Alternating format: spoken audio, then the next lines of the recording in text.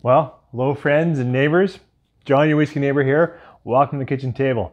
Sun was beautiful, so I wanted to get out of the basement for this great video. I love these videos. What we're gonna look at here is 18 bottles and talk a little about the journey.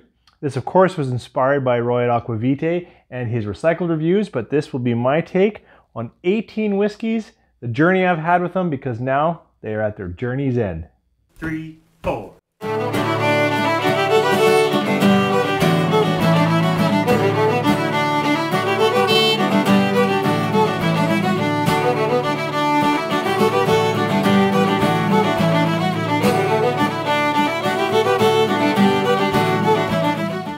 Thanks for staying with me through the break. Still adjusting to the concept of a journey's end, but you know what? These bottles have definitely been a journey for me. Some good, some less, uh, and we'll talk. I've got mostly Scotch, an Irish, Canadian, and bourbon. So I got a lot of bottles, so we'll get at it. First one up. This is Highland Park 10. I have to say, I didn't jump at Highland Park 10 because I've been a pretty big fan of the 12. Even though I know it's faded over the years, I still like it. Nice balance. But this, only X bourbon, or it tasted like only X bourbon, and good malt. And I actually, uh, you know, enjoyed this at the beginning, and it kept its its its fresh, light toffee caramel nature, even though it's only forty percent, and and really good malt. I like this, and for the price around here, I'd buy it again. Uh, change profiles. This is Laphroaig 10. If you don't know Islay Scotch or peated Scotch, then my immediate recommendation is don't start with this bottle. But this is a big bottle, big peat in here. A little bit ashy, you know, uh, a little bit medicinal. It's got some of those notes, but uh, you know, Laphroaig 10 is a classic. I, I, wish I had a bottle of Ardbeg 10 to sort of talk comparison quick, but this was good. I will say personally, um, about midway through, I fell out of like love for it. And so it sat on the shelf for quite a while, just half full. But when I went back at it, it really uh, seemed to still be expressive, a little sweet, lots of ash peat. Uh, it was good. I will definitely buy uh, Laphroaig 10 again, but I'm not running to it right now. I've got some other peat bottles I'm more interested in. Still, it's a standard. Uh, let's go for just a nice Highland single malt. This is anCnoc 12. Um, I enjoyed it. Uh, really simple profile, but it tasted, uh, you know, kind of clean's the wrong word, but it's what I'm trying to go for. This was, uh, you know, light fruits, a little bit creamy in the mouth, uh, sweet. Uh, this is a nice gentle scotch. If you're new to scotch, this would be an easy recommend. Uh, but it held together. It really didn't have any off-putting bitterness or whatnot, and all the way through, it was an easy pour. I'd buy anCnoc 12 again. Okay, uh, let's go into, I've got a couple bottles here that relate to a bit of my sherry journey. This is GlenDronach 2009. It's a 10-year-old, available only in Canada. Really like Gen GlenDronach house style for its significant ex-sherry life. Uh, this was only PX sherry instead of usually the Oloroso that in the 12 that we're going for. Um, this was good. And you know what? It opened up quite well. And I would say that the journey of this bottle was that it was pretty tight and it got significantly better. This got better, but for the price around here, I'm actually not going to buy it again. It's just a little too overpriced. Ah, this is almost a memory bottle. This Aberlour 10. Uh, really, it compares to the GlenDronach uh, 10 that we just talked about. You know, age stamp 10, mostly ex-sherry. I couldn't quite tell. I thought it was all ex-sherry, but when I did research on this, it felt like a mix of ex-bourbon and ex-sherry.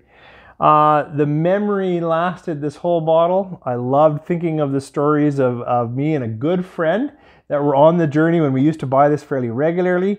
Um, but near the end, this bottle fell away. So it's a good bottle, but I know it's been discontinued in most markets, and so the pricing right now is actually higher than it should be. And for that reason, aside from the memory, I'm actually probably not going to buy it again.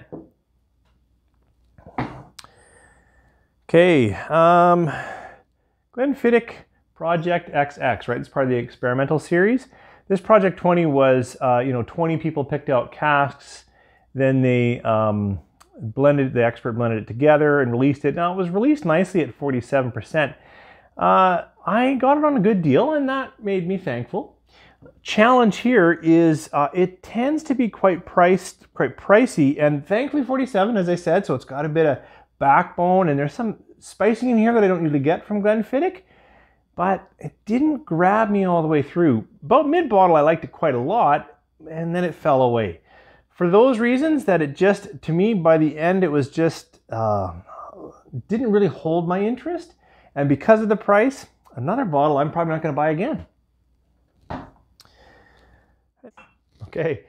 Uh, this is my only blended scotch. Uh, you know, it's Monkey Shoulder. And I, am quite sure all of you uh, have had it or certainly know about it. It's, it's very, very popular. And, and I'll say, you know, nice presentation. In most markets, it's a great price.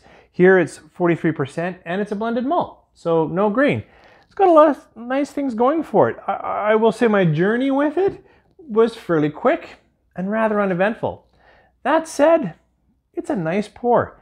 When I see it on sale, I'll probably put it on the shelf again. So I guess I'll buy it again.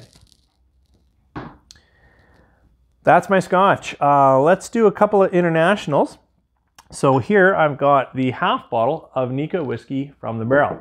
Uh, this one actually you would think because of shortness, maybe I would go through pretty quick, but at 51.4%, uh, I don't know, I took my time. This was on the shelf for a while. This to me has a fair amount of wood in it and a fair amount of spice.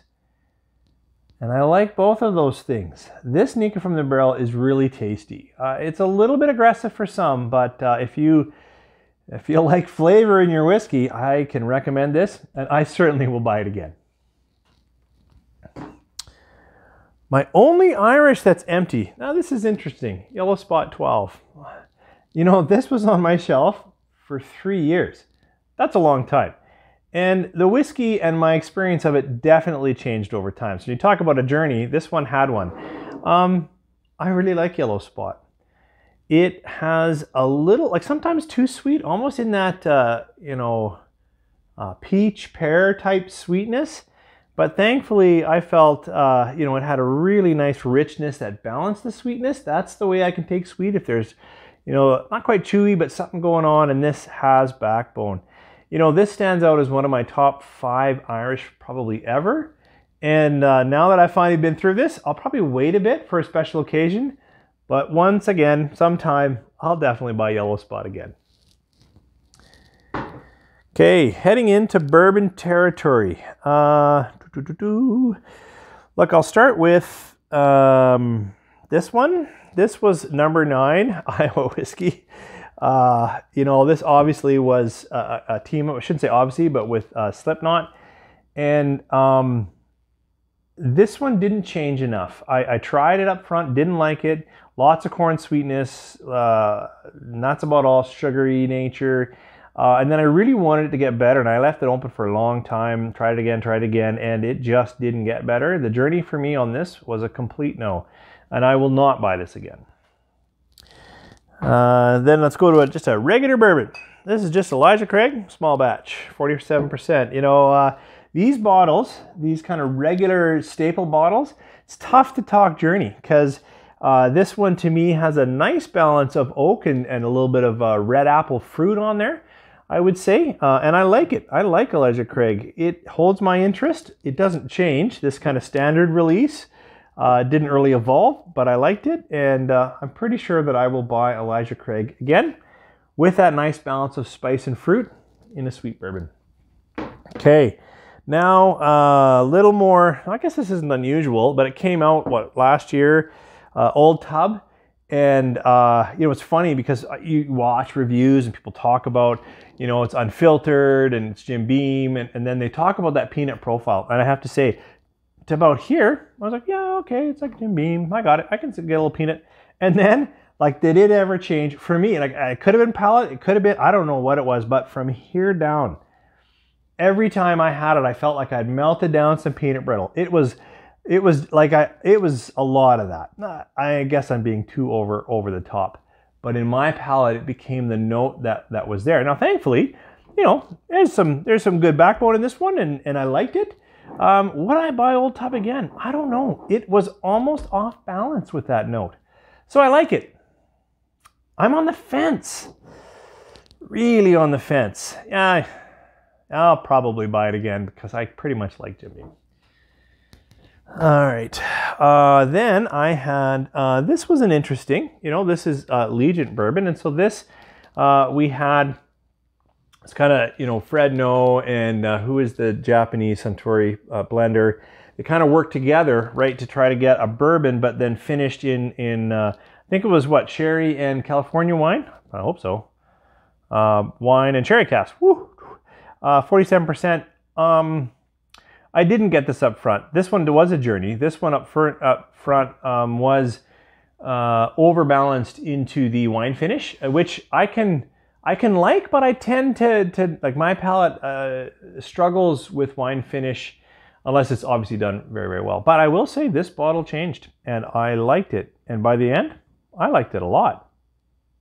On a good sale, I actually would buy Legent again. Oh, right. I was in a bit of a finishing thing. Well, let's do let's do this one. Basil Hayden. Oh, dark rye. No, I have rye. Well, yeah, okay. Not really bourbon. I one more bourbon. I should have done that and then gone to rye. Uh, but I've shown it up here. So this is Basil Hayden dark rye. Um, interesting that a few comments on the review that I did said they really like it. You know, that it's one of their favorite ryes, and and and good for them.